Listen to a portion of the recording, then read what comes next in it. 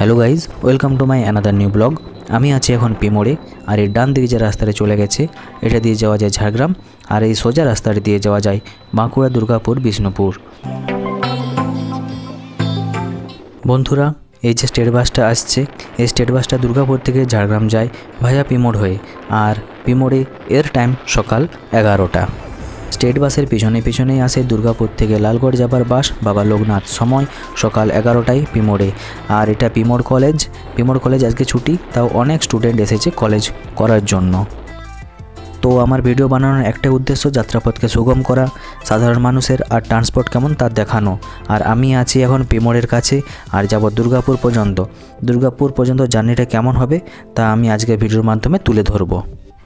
পেমোর থেকে দুর্গাপুর বা বাঁকুড়া যাওয়ার জন্য আমি কিছু বাসের স্টপ ও কিছু বাস আমি এই ভিডিওতে তুলে ধরবো। যদি এই ভিডিওটা ভালো লেগে থাকে, তাহলে অবশ্যই লাইক কমেন্ট শেয়ার ও সাবস্ক্রাইব করে দিও। পিমোর থেকে দুর্গাপুর বা বাঁকুড়া যাওয়ার জন্য সর্বপ্রথম যে বড় একটা বাস স্টপ পড়বে, তার নাম হচ্ছে বিক্রমপুর। আর আমি এখন বিক্রমপুর বাস স্টপের দিকে এগিয়ে যাচ্ছি। আর এটাই হলো বিক্রমপুর বাস স্টপ আর বিক্রমপুর বাস স্টপ থেকে একটু এগিয়ে গেলেই ডান দিকে পড়বে আমলাশলি গড়বেতা হোমগড় যাওয়ার জন্য একটা রোড। আর সোজা এগিয়ে গেলেই সিমলাপাল তারপর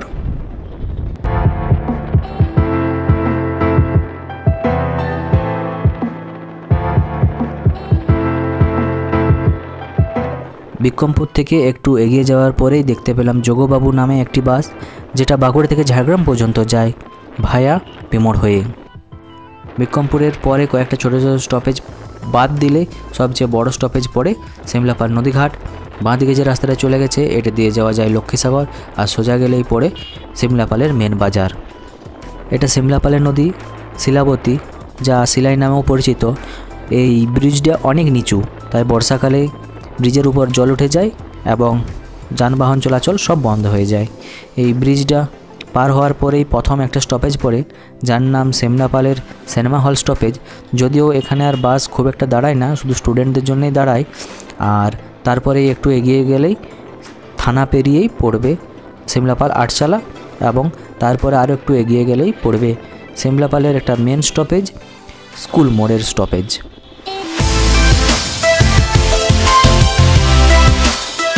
সিমলাপাল আমি অনেক দিন যাতায়াত করছি তো যতদিনেই যাতায়াত করছি, এই টার্নিংয়ের কাছের রাস্তাটা আমি কোনোদিনও সঠিক দেখলাম না। গর্তটা এটি চিরতরে রয়েই গেছে আর এখনও সেই গর্তই আছে।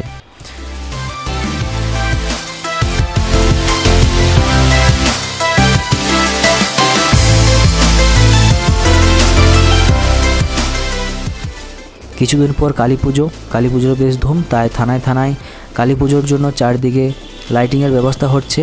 বাঁ দিকেই থানা। এরপর টার্নিং এই টার্নিংটা পরেই এই সামনেই হচ্ছে আটচালা।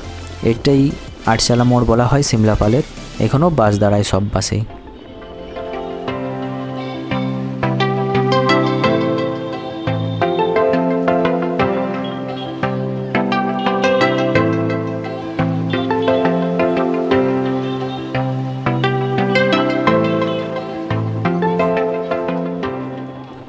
সিমলাপালের আটচালা মোড় পার হওয়ার পরেই দেখতে পেলাম অনিমেষ বাসটি, যে বাসটি বাঁকুড়া থেকে ঝাড়গ্রাম যায় ভায়া সিমলাপাল পিমোড় হয়ে।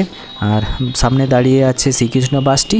এই বাসটি মেদিনীপুর থেকে বাঁকুড়া যায়, ভায়া এই রাস্তা হয়েই যায়। আর সামনে দেখতে পাচ্ছ বাইকটা হঠাৎ করে সামনে চলে এলো। কোনো ইন্ডিকেটার দেয়নি কিছু দেয়নি হঠাৎ করে বেঁকে গেল, যেটা খুবই বিপজ্জনক। বলতে গেলেই তাদের রাগ হয়। আর এখন আমি আছি এই মুহূর্তে সিমলাপালের স্কুল মোড়ের কাছে।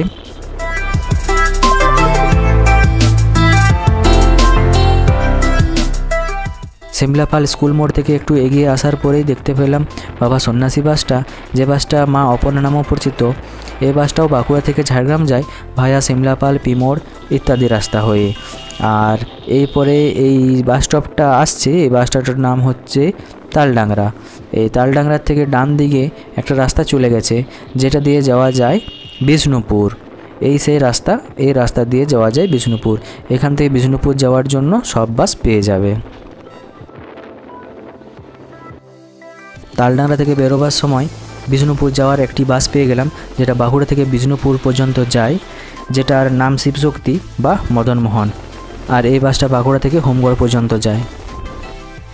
সামনে এই বাস স্টপটা, এই স্টপটাকে বলা হয় শিবডাঙ্গার মোড়। এটার ডান দিকে যে রাস্তাটা চলে গেছে এই রাস্তাটা দিয়ে যাওয়া যায় বিষ্ণুপুর। আর বাঁ দিকে যে রাস্তাটা দিয়ে চলে গেছে, এদিকে যাওয়া যায় খাদড়া বা চেচুড়িয়া পার্কও যাওয়া যায়। আর এই সোজা রাস্তাটা দিয়ে গেলে বাঁকুড়া বা দুর্গাপুর।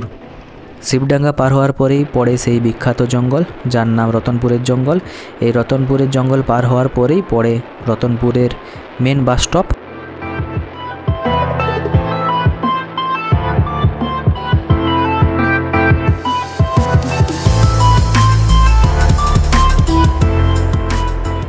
রতনপুরের জঙ্গল পার হতে না হতেই আরেকটা বাস দেখতে পেয়ে গেলাম, যেটা বাঁকুড়া থেকে ঝাড়গ্রাম পর্যন্ত যায়। নাম রঘুনাথ জিউ। যদি বাসের টাইমিংগুলো জানতে হয়, আমাকে নিচে কমেন্ট করে জানাও বা আমাকে ইনস্টাগ্রামে মেসেজ করতে পারো। ইনস্টাগ্রামের নামটা আমি নিচে মেনশন করে দেবো। আর এই বাস স্টপটার নাম হচ্ছে রতনপুর। রতনপুরের জঙ্গল পার হওয়ার পরেই রতনপুর। রতনপুরের এই বাস স্টপের কাছেই একটা বিখ্যাত একটা বড় গাছ আছে, যে গাছটা আমাকে খুবই ভালো লাগে। দেখতেই পাচ্ছ সামনে এই গাছটা গাছটার সাইজ কত বড় আর নিচটা কত ছায়রা, খুবই সুন্দর লাগে। এই বাসটার নাম ইন্দ্ররাজ, এটা বাঁকুড়া থেকে সারেঙ্গার দিকে যায় পিমোড় হয়ে। বন্ধুরা, এই জায়গাটার নাম নতুন গ্রাম। জায়গাটার নাম নতুন গ্রাম হলেও গ্রামটা মোটেও নতুন নয়, আর নতুন গ্রামের বাস স্টপে এখন ঢুকছে একটা বাস, যার নাম মা গঙ্গা। এই বাসটা বাঁকুড়া থেকে চিচিড়া বা গিদনি পর্যন্ত যাওয়া যায়।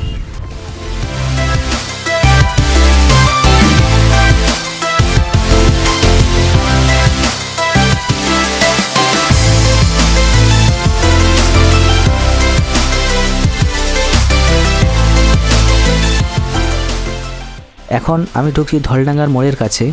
সিমলাপালের টার্নিংটার কাছে যেমন রাস্তা খারাপ, এই ধলডাঙ্গার ঢোকার সময়ও রাস্তাটা প্রচুর খারাপ। এই রাস্তাটাও আমি অনেক দিন ধরেই যাতায়াত করছি এই রাস্তা দিয়ে, কিন্তু এই রাস্তাটা আমি কোনোদিনও ঠিক দেখতে পেলাম না। ধলডাঙ্গাতেও মেন মেন কিছু রাস্তা ভাগ হয়ে গেছে।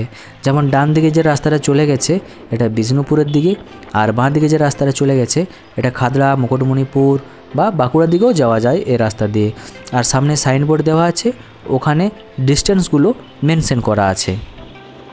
বাঁকুড়া শহরটি দুটি নদীর মাঝে অবস্থিত দ্বারকেশ্বর আর গন্ধেশ্বরী। আর এই যে নদীটা এটা হচ্ছে দ্বারকেশ্বর নদী। আর বাঁকুড়াটা পেরিয়ে গেলেই পাওয়া যাবে গন্ধেশ্বরী নদী। দ্বারকেশ্বর নদীর ঠিক পাশেই অবস্থিত একতেশ্বরের শিব মন্দির। ওই যে দূরে দেখা যাচ্ছে ওই দিকে একতেশ্বরের শিব মন্দির.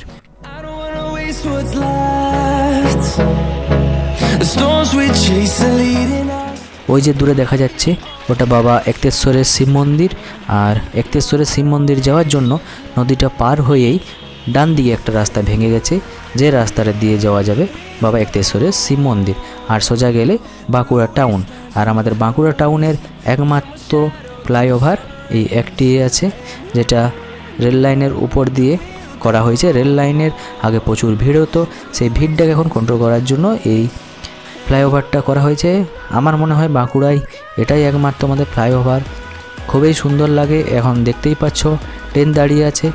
আর একটু এগিয়ে গেলেই ট্রেন লাইনে সোজা সামনেই পড়বে বাঁকুড়ার মেন স্টেশনটা বাঁকুড়া ফ্লাইওভারটা পার হওয়ার পরেই আবার রাস্তা দুটো ভাগ হয়ে গেছে।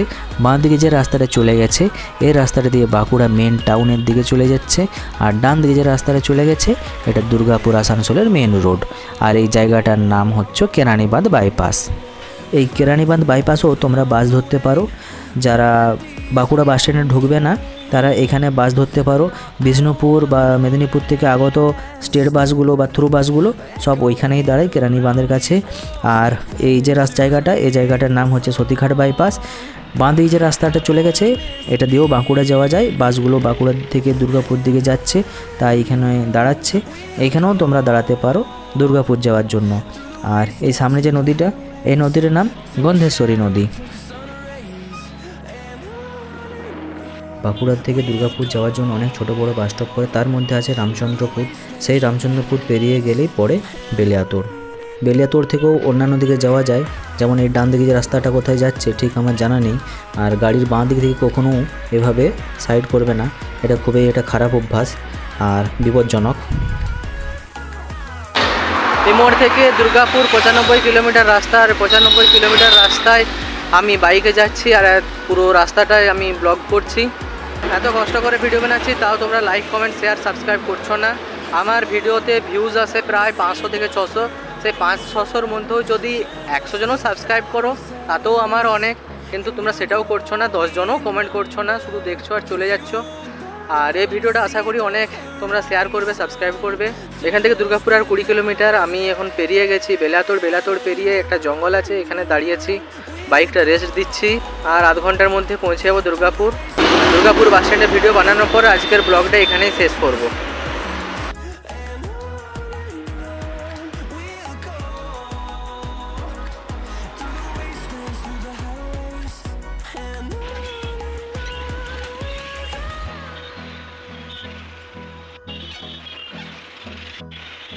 আমি আছি এখন বড়জোড়াতে, আর ডান দিকে যে রাস্তাটা চলে গেছে, এটা রানীগঞ্জ যাওয়ার রাস্তা, আর সোজা রাস্তাটা, এটা বাঁকুড়া যাওয়ার রাস্তা।